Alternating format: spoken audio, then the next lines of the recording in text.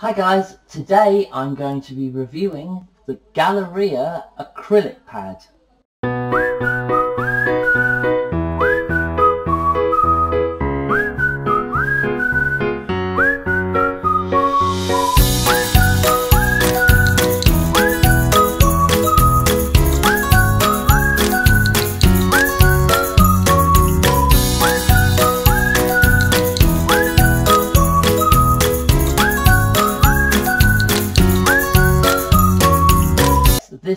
My next review on uh, paper pads. It's the Winsor & Newton Galeria A4 canvas style acrylic pad and I am hoping to be able to give this a good review um, and let's see how it goes. So here we have the pad. First of all it's got the his Royal Highness Prince of Wales stamp on it, so, you know, and that's because it's Winsor and Newton. Now, it says on it that uh, it's designed for use with all acrylic colours and mediums. So I'm going to put it through some cheap ones to see if that works out, because, of course, cheap ones are, uh, are not as good quality as others, so that will probably put it through its paces. Um, it does have its canvas-like texture, and uh, that makes it feel like you're actually doing it on a on a canvas pad. So that's quite interesting. It's an interesting feel. Oh by the way on the brushes I've never said this before I'm using today uh, the Graduate Daler Rowney brushes which by the way it's an oval wash on this one and it's these brushes are actually extremely good. They wash off really well. Um, I haven't had any uh, bits of brush uh, sticking to it or whatever, uh, sorry, coming off it. So I would say I'd recommend these brushes. I don't get sponsored by this company. It's just I happen to like their brushes. Okay. So I've got some fun there. right, quite a lot actually on my phone. Just with so uh, first thing I noticed is unlike other papers I've used, you immediately can tell that this is not seeping through. It's not bending the page in any way, shape or form. It's a smooth finish. Um, I'm going to paint as much as I can out of this blob on this page and then I'm going to mix the two together. Okay, so let me wash this.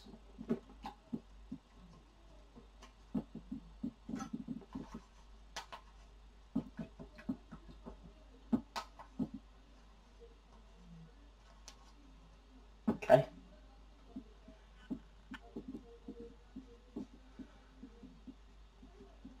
It's just a smooth finish.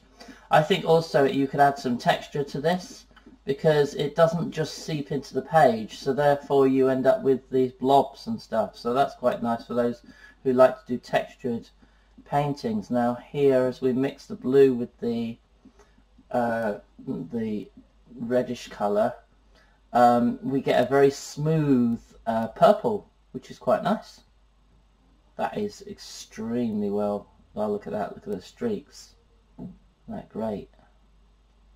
I just like that kind of stuff. Look at that. So, yes, out of 10, and I know last time I did this, I, I gave up on the marks out of 10, but here we go again.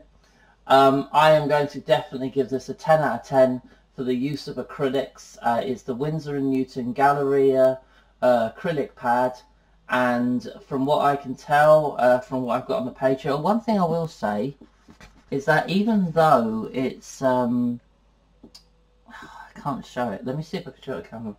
Even though it's uh, designed obviously for acrylics um, as with some paper I don't know if you can see that. Oh no, maybe not. You can't see it very well on the camera, but it is actually bowing the whole paper. So, oh, what have I done with the camera there? um, it is actually bowing. So um, that that that doesn't give it 10 out of 10 anymore. because um, I, I don't like bowed paper when I'm working. I like it to be flat. I like to be able to give someone a flat sheet of paper with the art design on. If it goes like this, it's not that great. Um, so let's give it 9.5 out of 10. The way it sits on the page is very nice. If you're doing it professional, remember you frame it so therefore they won't notice the bow. But even though um, it's uh, supposed to be for acrylics, it clearly bows the paper, which yeah, I, I, have a pet, hate about. So um, I will be using it again in future videos for acrylics because I still think it works quite nicely. And obviously the colour blend looks really nice, so I think that it's definitely a pad worth getting. Um, professional, well, it, it's your it's your opinion really, but I, I really don't like giving someone a, a, a painting and, it, and the paper's bowed because of the paint. And this is only a little bit of paint on it. Imagine if I did the whole page. Okay, so that's my review. Um, let me know what you think. Write some comments and uh, likes, etc. So uh, so I can make appropriate videos for you. If you have anything you'd like me to paint for you, then please let me know um, and I can do a video um, of the painting or I can send you the painting, whatever you fancy, okay? So please let me know. Thank you. Bye-bye. Thank you for joining me today on my channel and I hope that you enjoyed the video. If you'd like to see more videos as they come up, please click subscribe. And if you'd like to like it and leave a comment on the video, that would be much appreciated and hope to see you again soon.